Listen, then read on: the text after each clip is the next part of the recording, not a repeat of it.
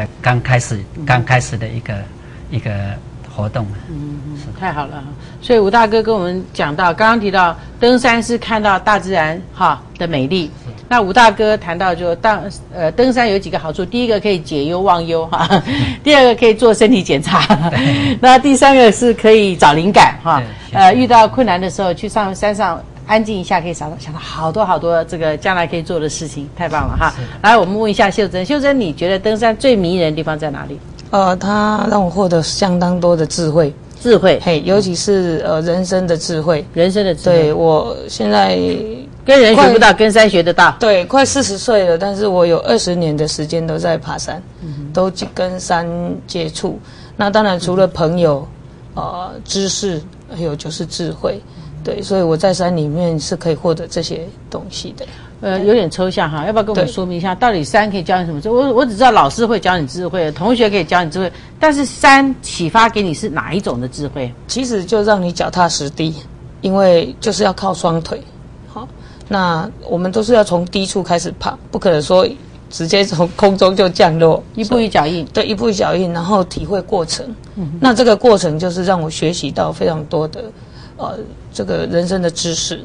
对，包括我们刚刚说的，呃。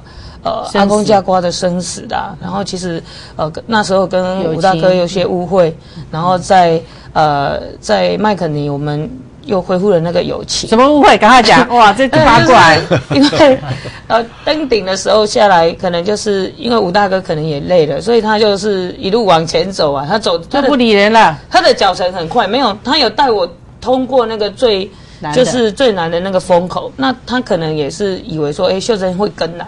结果没想到吴大哥一走，我就越看他越走越远，然后因为那个雾马上就来了，就就我就不知道看不到路了，对，看不到路了。然后我曾经要试着找路，可是走到悬崖又爬回来。不过后来就是因为我们两个先登顶，后面有外国人，所以外国人在下来的时候，我就跟他一起下下去。下去之后。我当然就是很很生气的跟武大哥说，为什么你没有等我这样子啊？就臭骂一顿。对，就是会会就是有误会，然后武大哥认为我就骂他这样子啊，然后一直到呃麦肯尼，我觉得就是多久？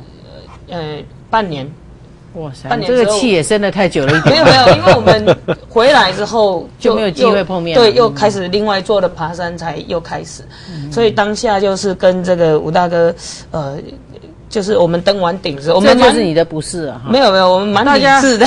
大家出外都是朋友，但互相照应啊！你怎么那么冷酷？因为我想说，呃，后半段的路剩下一点点，早一点到营地煮东西啊。嗯，对对，是，但是好意啦。对，这是一个误会啊，所以就是就这样阴错阳差，就就有一些误会。所以我们在麦肯尼和解的时候，当下是比登顶还开心。对，所以那时候都是好朋友，对，那时候会觉得说人生就是追求的是圆满啊，所以我都常常去跟人家分享说，其实，在你跟人家朋友也好，亲人也好，就就算你最亲密的这个太太也好，先生也好，有误会的时候一定要去解开，要不然当你要闭上眼睛的时候，你挂念的还是这件事情。所以这个就是看又要哭了，真是的。三给我最大的一个 智慧了，对智慧对。所以吴大哥，你以后还是不要那么粗枝大叶哈，有时候要帮助人，不一定是男生女生都是要帮助的，不，他也是要帮助啦，只是他也许不知道怎么表达。对对，吴大哥其实是非常好的一个。人家恨你的时候，你有没有感觉？嗯，有啊。谢谢，不好意思，这个不要再逼问了。来问一下志豪，山给你什么样的智慧？哦，我觉得哦，我是用一个比较逆向思考，因为每次人家问我说你上山有什么乐趣的时候，哦，我也想要反问他说，那你没有上山，又有什么乐趣？你窝在家里看电视，做宅男？对对对，看一天的电视，玩一天的电脑，有什么乐趣？没错。那我觉得就像陈董那个大哥。秀珍他们刚刚都有提过，山上有很多吸引你的地方，对美丽的景物。那我觉得我们都是动物进化来的，所以我们还有很大一部分都还在向往着那个自然。那对我来讲，上山就有回家的感觉，哎，不是像爱人，有一种让你很舒服，在那个环境中很舒服。然后什么嘛，都市丛林不是你的家。山上才是你的家 呃，可能我们进化比较不完全，啊，是应该搞啊。对，比较接近星星那一点。所以基本上，你觉得上山有让你回家的感觉？对对对，那家的感觉是什么样？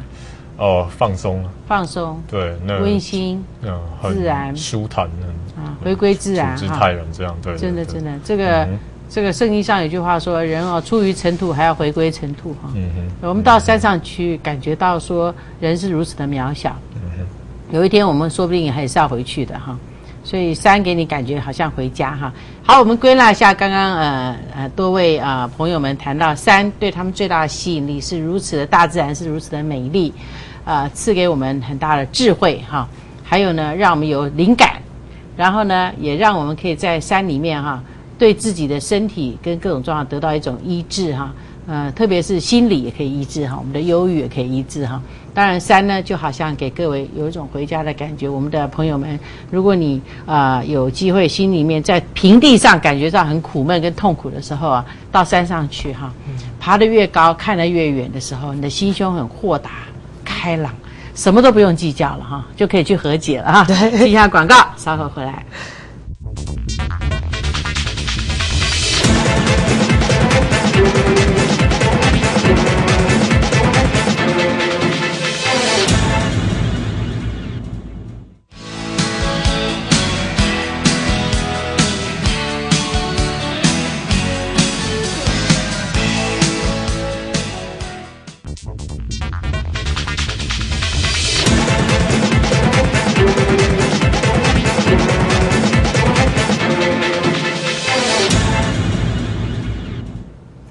各位再回到二一零零情报现场。我们今天为各位在节目中请到了四位、三位哈，我们的登山英雄们来到我们的节目中，不管是吴玉龙、江秀珍跟黄志豪，都分享了很多登山的乐趣。我们刚刚问到说，山到底有多么美丽？它好像不断的给你这个召唤哈。这个我们总是如此呼唤着山哈，山不来我们就向它走去，那么越走越高，走到最高峰。他们最近刚刚在五月十九号完成七顶峰的壮举哈，那么登到了这个呃全世界最高峰哈，这个圣母峰，也就是这个呃埃弗勒斯峰，也就是我们叫珠穆朗玛峰哈。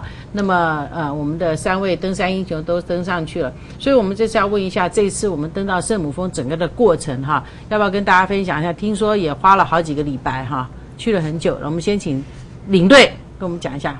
呃，爬这这种圣母峰的这个路线啊，八千公尺以上的山，它啊、它的那个就是攀登模式是有一个，因为带有一点那个高度适应，所以它的爬山方式很像是金字塔型的。你从低呃基地营到低营，可能呃来回个呃差不多六趟七趟，然后越上面呃到第四营的话，就是攻顶就是刚好是一趟，所以啊。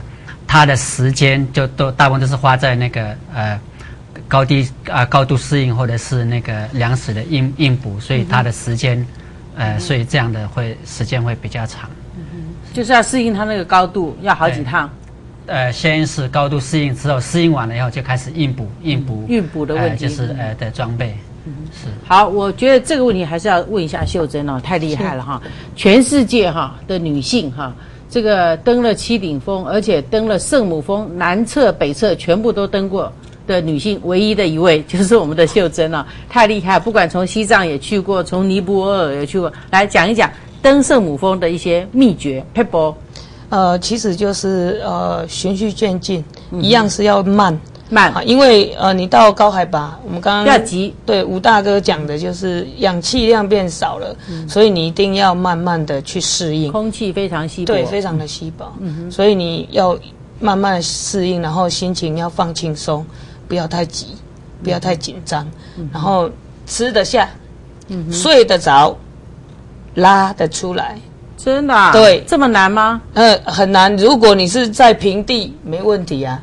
可是你能如果能睡能拉，对你如果到五千公尺以上的话呢？因为五千公尺以上其实是不适合人很难呼吸对，不适合人居住的地方，不适合人居住对长长期居住的地方。所以呢，在那个时候你还能够吃喝拉睡，还能够唱卡拉 OK，是很不容易哈对，很不容易。所以在那个那时候感觉是很不舒服，是怎么样？如果你没有适应的话，就非常不舒服。比如说上气不接下气，睡对睡也睡不好，吃也吃不好，对，所谓的吃不好是怎样？就是可能